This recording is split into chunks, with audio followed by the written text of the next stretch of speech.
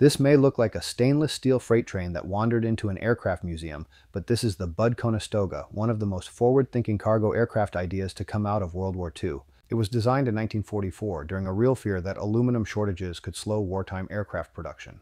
Budd, famous for building stainless steel railroad cars, offered a bold solution build the airplane largely out of stainless steel instead. Using manufacturing techniques adapted from railcar production, they created an airframe that looks and ages very differently than the aluminum transports we're used to seeing.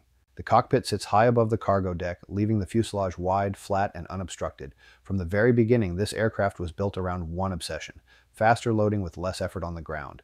And even though this survivor here is wingless and stripped today, the Conestoga originally used a high-wing tricycle gear layout to keep the cargo floor low and level, perfect for rolling equipment straight inside. Now the signature move, the rear loading ramp beneath an upswept tail. In the 1940s, that was a big deal, decades before rear ramp cargo aircraft became the standard shape of airlift around the world. The twist is, the crisis it was built for never fully arrived. Aluminum supply stabilized, the Conestoga showed up late, production was cut short, and most were quickly retired. But it didn't fail. It previewed the future, and this battered survivor at Pima is the proof.